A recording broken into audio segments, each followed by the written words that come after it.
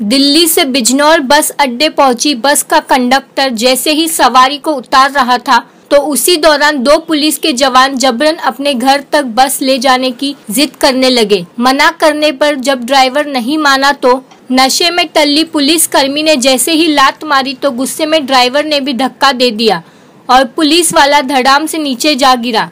Driver की माने तो पुलिस कर्मी जबरन घर तक बस ले जाने की जिद कर रहे थे।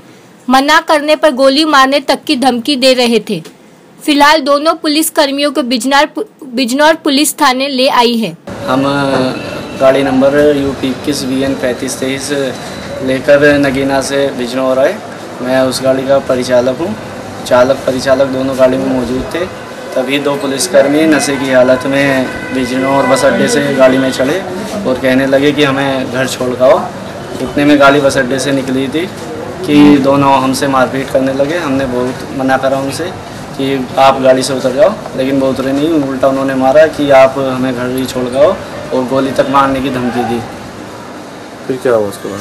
फिर उसके बाद और हम बस अड्डे आए थोड़ा अपने अधिकारियों को बुलाया वहाँ से वो भी गए तो उन्होंने समझाया बल्कि उनको भी मारने की धमकी दी सभी उनको। उसके बाद आधे घंटे तक हमने सौ नंबर पर फ़ोन लगाया वहाँ से पुलिस भी नहीं आई कोई। आधे घंटे के बाद पुलिस दो पुलिसकर्मी आए वो भी बस उनको समझा कर ले गए। उन पर कोई कार्रवाई नहीं की।